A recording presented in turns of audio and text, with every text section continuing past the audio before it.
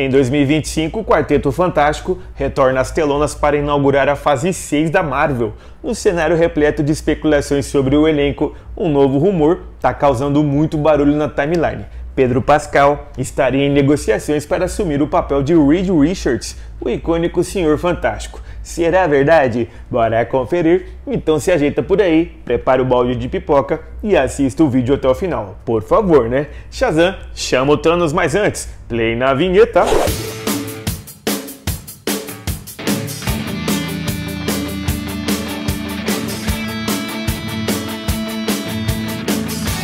Opa! Choque se eletrizando a sua tela após uma longa espera e intensos rumores sobre o elenco do filme do Quarteto Fantástico, o Deadline revelou que Pedro Pascal está atualmente em negociações para liderar a icônica equipe de super-heróis. O portal também revelou que Pascal terá que se adaptar à agenda para aceitar a proposta. O chileno está bombando em Hollywood e atualmente está envolvido em ao menos três projetos no próximo ano: Gladiador 2, Weapons e a segunda temporada de The Last of Us. Pedro Pascal é um nome que dispensa apresentações, né? O ator tem uma legião de fãs, não só por ter conquistado o público com a série The Last of Us, mas por viver o protagonista de The Mandalorian da franquia Star Wars. Por enquanto, a Disney e a Marvel mantêm o enredo do novo filme do Quarteto Fantástico em segredo absoluto. Tá tudo no cofre do Kevin Feige. A possível entrada do Pedro Pascal como Senhor Fantástico seria muito empolgante para os fãs da franquia, mas é importante destacar que ainda não existe confirmação oficial, então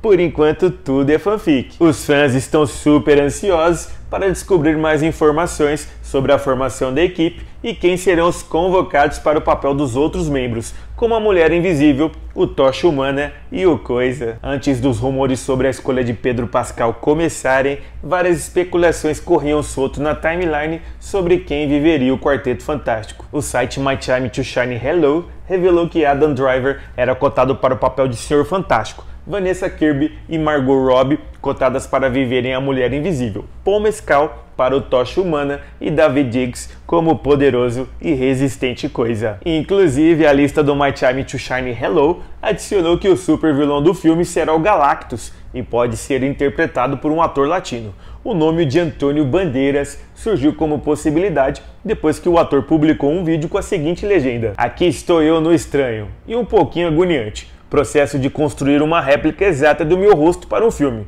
do qual informarei vocês no futuro. Mads Mikkelsen é outro ator de peso que pode ser convocado para o elenco. A notícia surgiu no podcast de John Campeia, revelando que Mads está em negociações com a Marvel para interpretar o super vilão Doutor Destino. É importante deixar bem claro que ainda não existe confirmação oficial desses nomes no elenco do novo filme do Quarteto Fantástico. Então, por enquanto, tudo é fanfic. Vale lembrar que Quarteto Fantástico já ganhou duas adaptações cinematográficas, uma em 2005 e outra em 2015, e absolutamente nenhuma delas conseguiu agradar os fãs, colecionando aí várias críticas negativas. A esperança do fandom é de que neste próximo lançamento a Marvel finalmente acerte em cheio. Com a previsão de começar a produção no início de 2024, a confirmação de todos os nomes deve acontecer o quanto antes. Quarteto Fantástico tem previsão de estreia para maio de 2025. O filme será o início da fase 6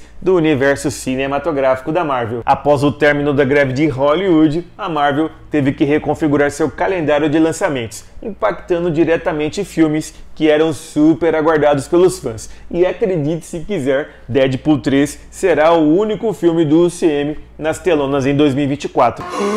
É isso aí, galerinha. Por enquanto é só curtir o vídeo. E aí, Fala para mim, Pedro Pascal seria uma boa aquisição para o novo filme do Quarteto Fantástico?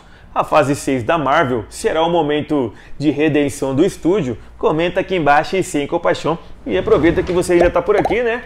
Gastando o seu 3, 4 ou 5G, deixe o like, se inscreva e ative o sininho para ficar ligadaço comigo, com choques. Se liga na treta. Quem fala console é Nutella e quem é raiz fala videogame. Pois é, câmbio desligo.